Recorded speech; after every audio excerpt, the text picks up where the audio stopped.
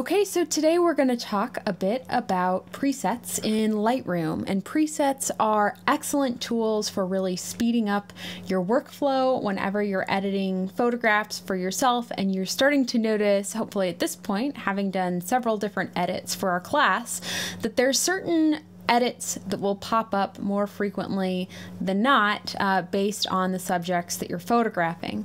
So I have two photo shoots pulled up here in my default my default catalog.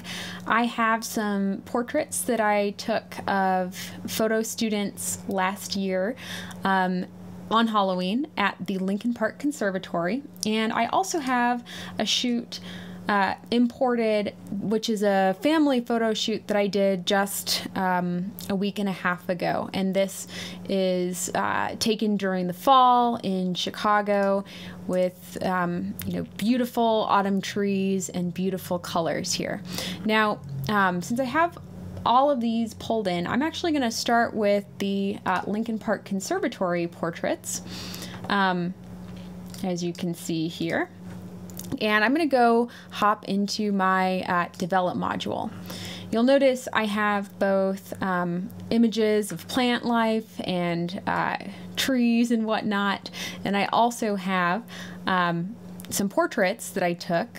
I have I have not gone through and restarred these since the last uh, photo shoot, but we'll be looking at a few of the images of the um, the greenery around Lincoln, uh, around the Lincoln Park Conservatory, as well as how this can be applied to portraiture. Uh, so I want to call your attention over here to this side where there is a tab in your develop module called presets. Now Lightroom automatically comes with some presets. For example, uh, I can you know, just sort of hover over these and you can see the different things that the Lightroom built-in presets will do. That doesn't necessarily mean that they're great. Um, there's some creative ones in here as well, sort of your uh, Instagram filter light, and uh, there's some black and white presets as well. And uh, as I roll through these, you can tell that they're modifying the image pretty significantly. Now, there's a lot of companies that will sell Lightroom presets online for photographers who aren't 100% sure how to make them or they want to photograph with um, a certain editing style. Uh, so, there's a lot of presets are, that are for sale that you can easily install into Lightroom. Um, but a lot of photographers like to create their own presets because we realize we do a lot of the same things over and over again and this will ultimately save us time. So into my Lightroom catalog here, I've actually imported all of my favorite presets. For example, a shadows plus 15, shadows plus 25, highlights minus 30, etc. And these are presets that I've actually built uh, to use with the editing strategies that I tend to use most frequently, whether I'm editing photos for myself or editing photos for the photo studio that I work alongside of. So you can see these are all built in. I've built some kind of moody filters because I did a photo shoot for a woman who makes jewelry and she really wanted the, this kind of moody filtered look. So I built uh, presets for her specifically. Um, yes, I did call this one Stupid Instagram. I'm not exactly sure what I was thinking there, but uh, you know, it's okay to judge sometimes. So, um, if I'm looking at this portrait, I'm going to, of course, always start with my uh, black and white point compensation. Now, your whites and your blacks are going to be specific for any given image set, so I wouldn't suggest building a preset specifically with your black and white point com uh, compensation. However, if I notice that I tend to add um, 10 points of contrast to portraits and I take out about 20 points of clarity each time I edit a portrait, that's a really great starting point to create a preset. So check this out. I'm not going to move much further on this portrait just yet because I want to show you how you can create useful filter or useful presets that will help you in your editing workflow. So um,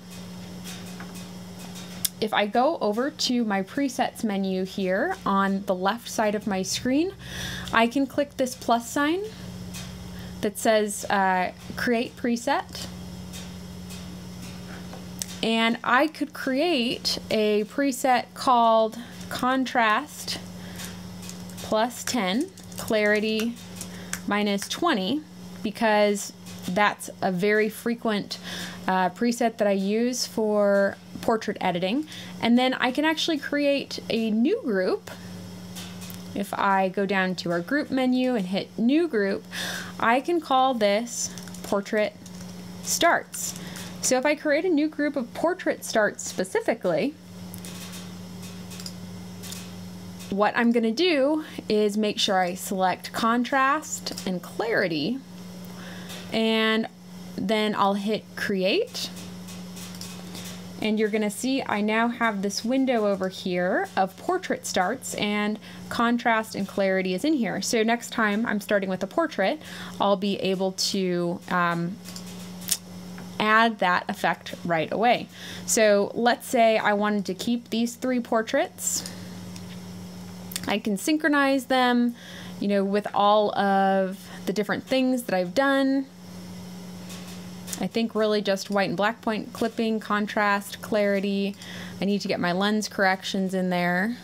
So if I scroll down here to lens corrections, go to my profile, check those boxes.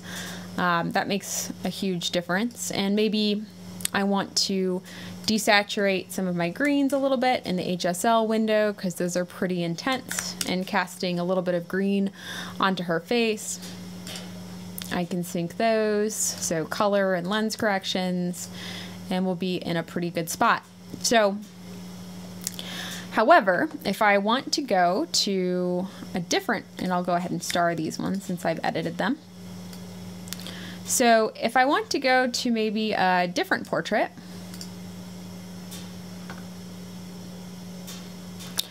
um, what this portraits starts makes really easy for me is the ability to take my whites. I'll first do my black and white point compensation. I always want to do this before I apply anything and I'll apply my lens corrections.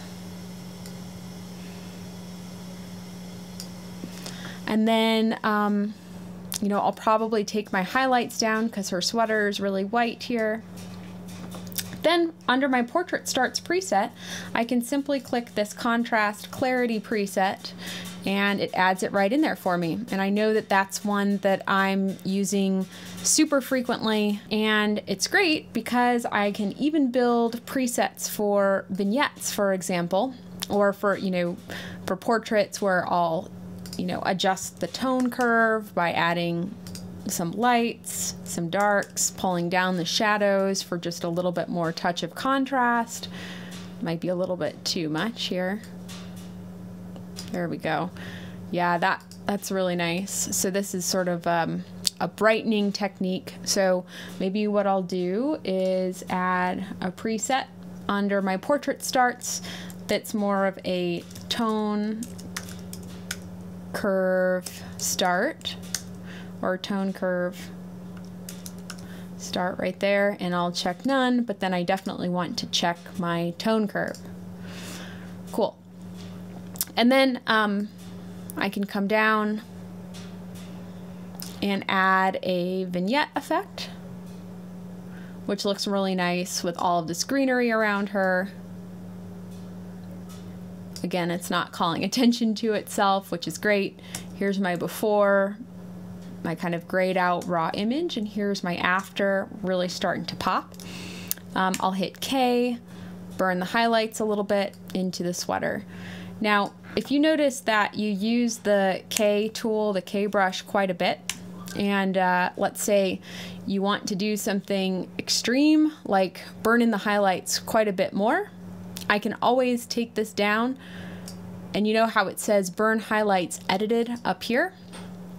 I can also save my current settings as a new preset within my brush tools window. And I can call this one burn highlights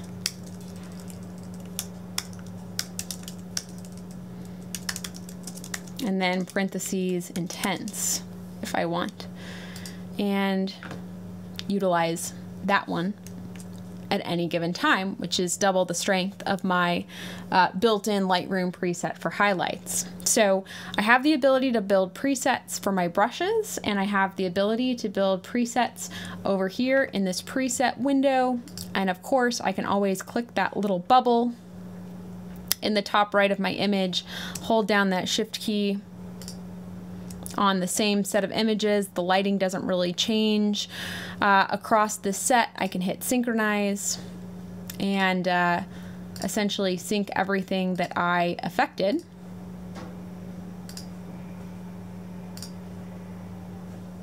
Don't think I did sharpening, but here we go. Synchronize.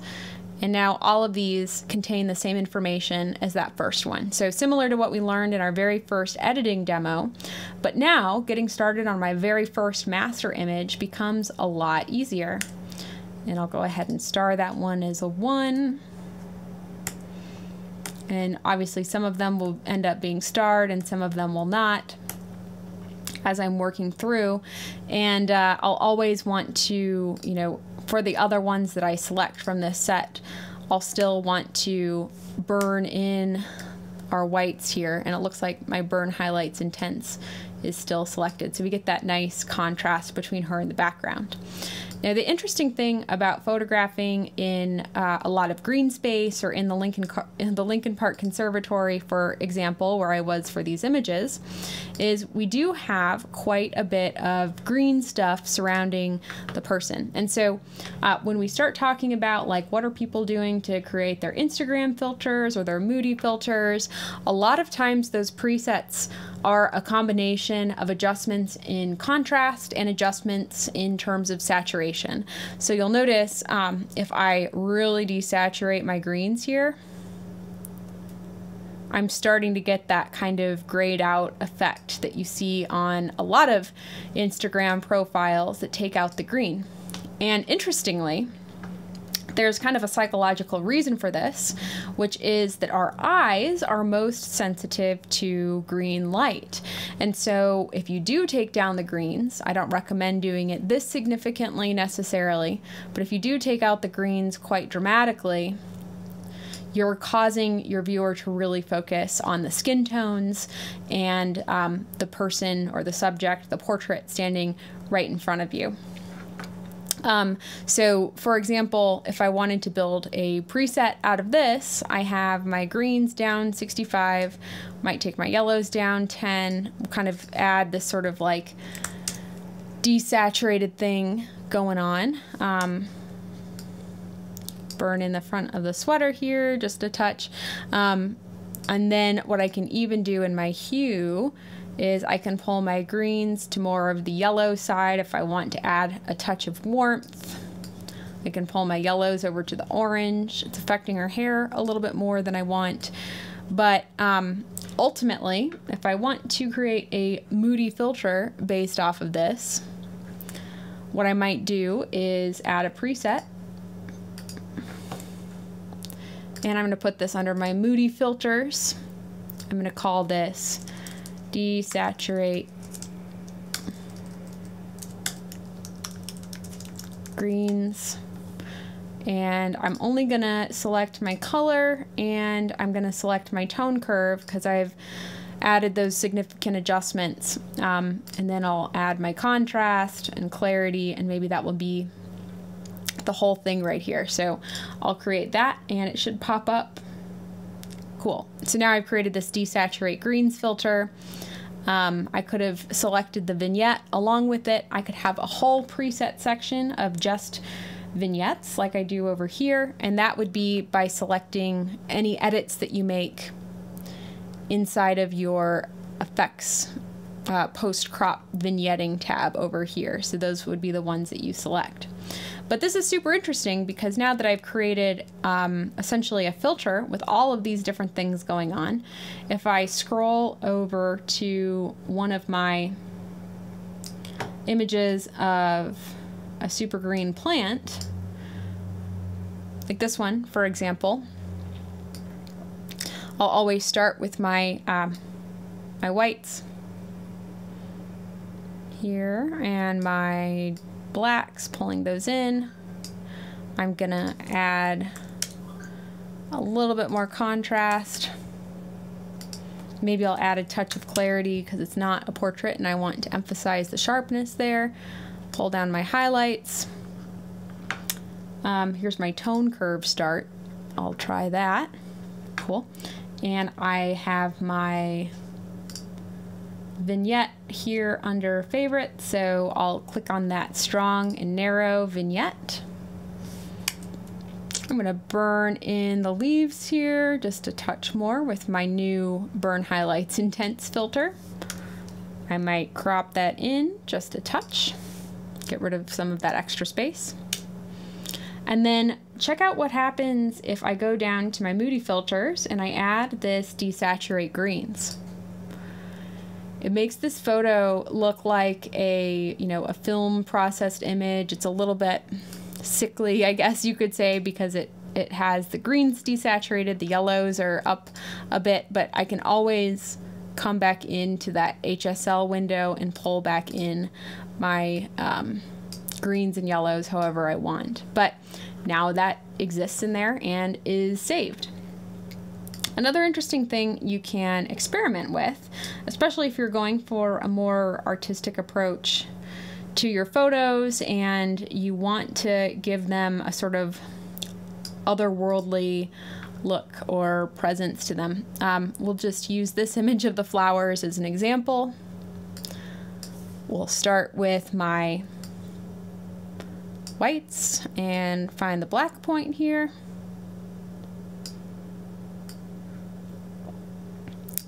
I'm gonna apply my lens corrections.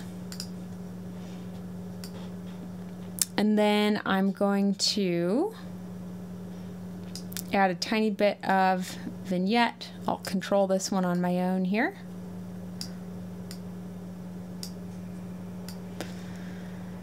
And we'll add contrast by using our tone curve. Might have been a little bit too much here. Cool, so here's my before. Here's my after. I've really done a lot to reel in some of those tones here. Let's burn in these leaves in the background. Cool. Okay. Um, I'm going to punch up the contrast, pull down some highlights, and now we can really experiment within our HSL opportunities. so if I go into my saturation tab, maybe I'll choose to pull down the saturation of my greens a little bit and the saturation of my yellows and maybe the saturation of my oranges. If I pull down my blues, I'm eliminating the spill from the outside light coming through the conservatory. And I've already done a lot of work as far as muting um, the uh, vibrancy of this picture. Uh, I also have the option of pulling my hues one way or another, as I showed you before. So if I wanted my greens to be a little bit more blue leaning, I could get them there, or my greens to be a little bit more yellow leaning, I could get them there. And what I want to show you is this window that we haven't yet touched with any of our imagery called split toning. And this is the one that I mentioned that's a little bit more fun because you're actually adding a hue or desaturating uh, highlights or shadows specifically. So this is um, a more sophisticated, specific approach to what we're doing up here in our HSL window. So if I go to my highlights and I add a color, you'll notice that that purple color or that yellow color will become applied to all of the highlights in this piece.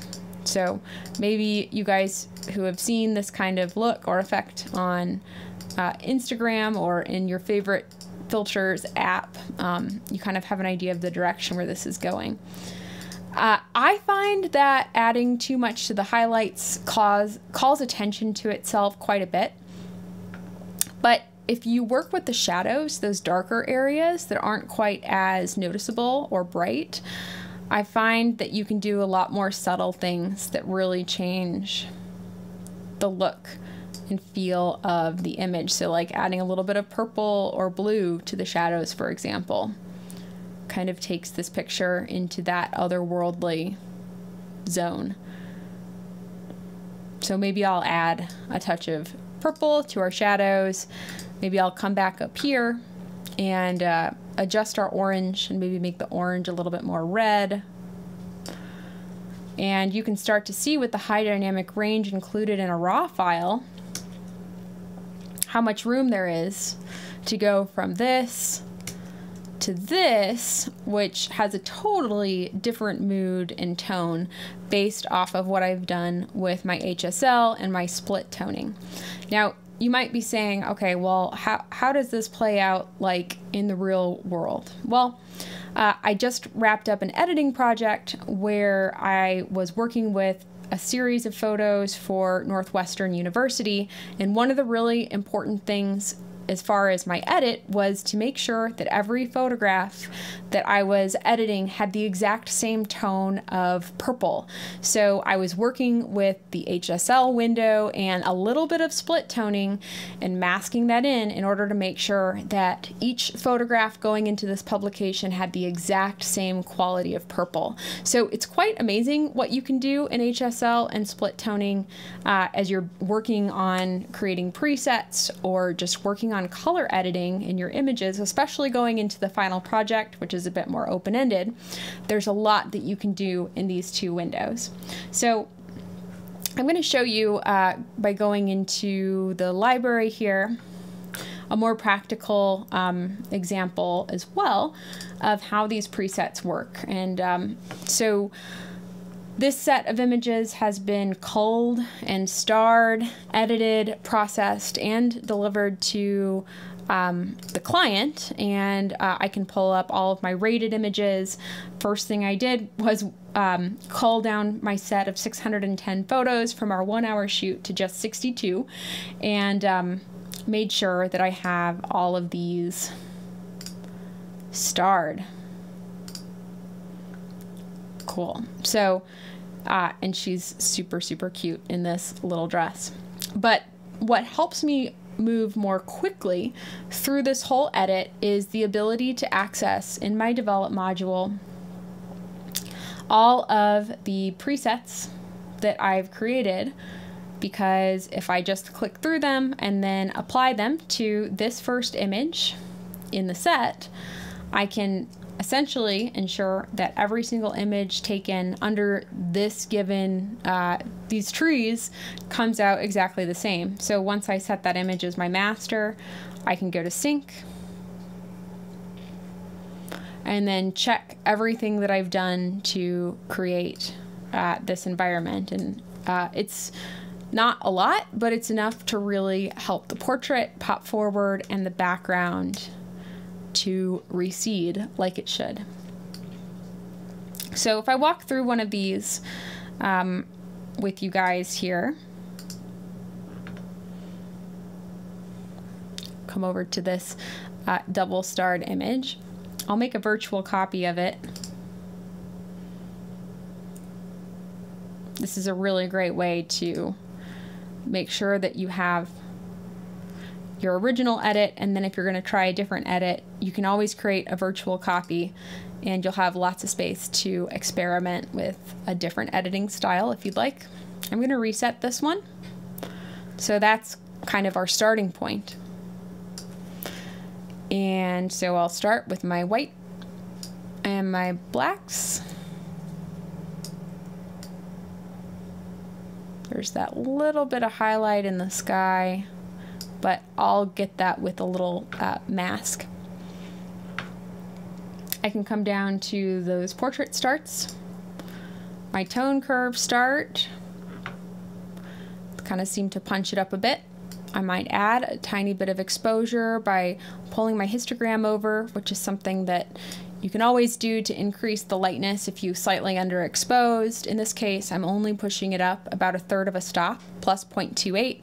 Um, you never want to have to push exposure one or two stops over, otherwise your image will start degrading, it'll start to look a little bit muddy. It is definitely not ideal.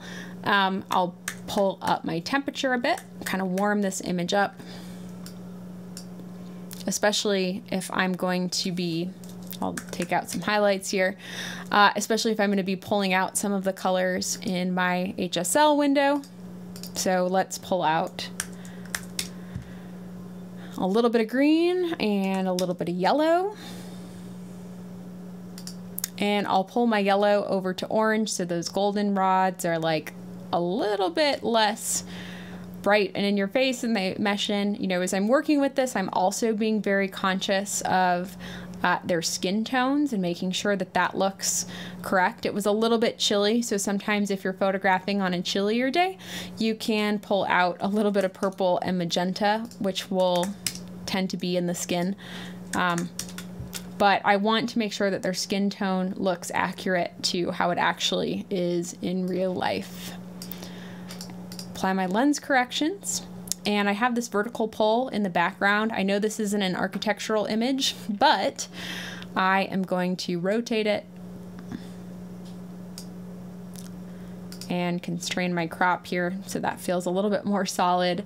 And then I can come up and add my vignette um, that I already have a preset for. So that makes my life a little easier. I'll pull up exposure just a tiny, tiny bit to compensate grab my burn highlights intense. I probably just need the regular burn highlights and I can burn in her shirt which is a, a lighter cream color and this dress here. And um, pull in just a touch more the temperature here. And all of a sudden I think I probably edited it pretty closely to my original. Looks like I have a little bit of a crop on there which I can also do. But um, these color edits can really make a huge difference as far as how your final image looks as you're working through your edit.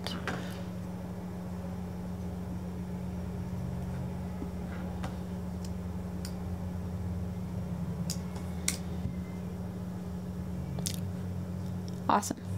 So I hope that that's helpful uh, as you start to create your own sets of presets based on what you're editing, whether it's portraits, architecture, you want to create some interesting moody filters and try applying them to various scenes in different colors. Uh, and then, of course, starting to create presets uh, within your brush menu, your mask menu. It is a huge, huge help. Um, and good luck implementing these tools in your next projects.